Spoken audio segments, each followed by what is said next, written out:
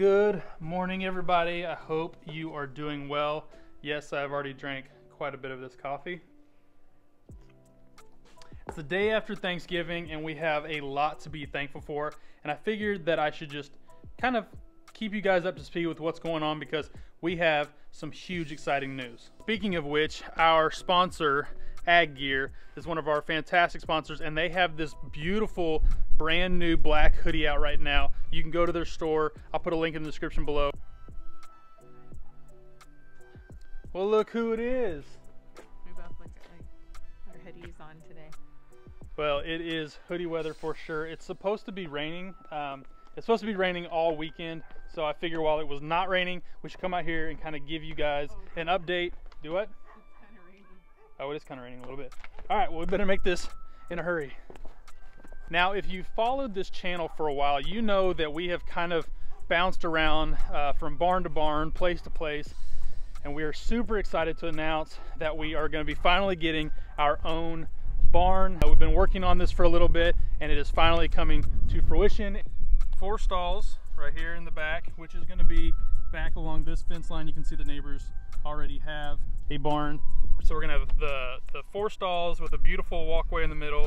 We've got a tack room and a feed room, um, which are both good. Everything's gonna be, you know, about 12 by 12, which is a good stall size. There is the right elevation, the left elevation. Actually, okay, so they did the elevations a little different. Anyways, this is gonna be the front and the back elevation.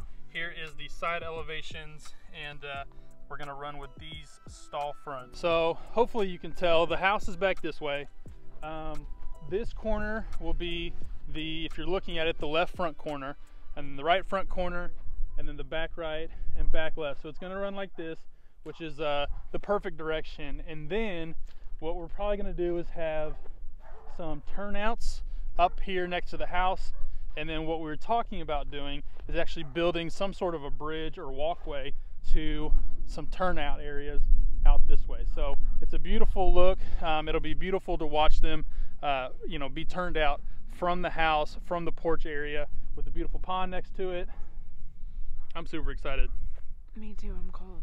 We have missed having the horses back um, kind of in our backyard ever since we left the ranch. It was really nice to just wake up and look outside, look out your window and see the horses, walk down, feed them, and not have to travel 20 or 30 minutes to go feed, to go ride, all of that sort of good stuff. So I'm super excited to do this. Um, yeah, we've been we've been planning and dreaming about having a barn at the house. No, it's you know not a massive barn, but it's, it's exactly what we need to bring our horses home and to kind of keep doing what we're doing. So we're very very thankful for that you know the beautiful thing about this area right here is that we can a put the barn. We've got a bunch of turnout sections that we can kind of uh, strategically place them or rotate them around.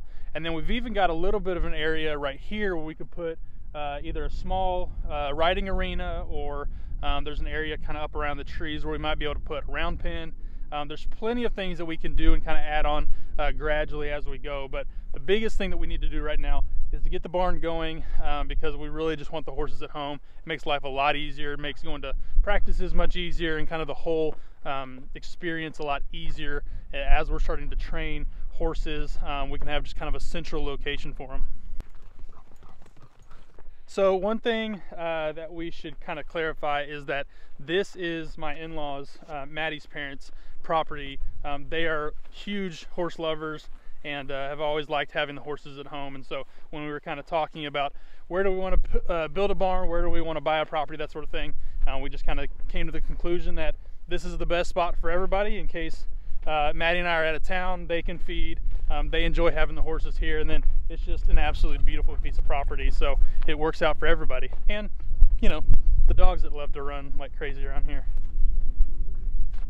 Bo, get out of there. Well, I don't think we got any hogs. And I don't think we had any deer come in either. Nada. Threw some of the old pumpkins in there for the deer. Right here, look. So it's got this little, nice job, Bill. See you working over there. So they they walk up through here and then the hogs they push it open but then they can't get back out but they ate everything. They ate everything up to it.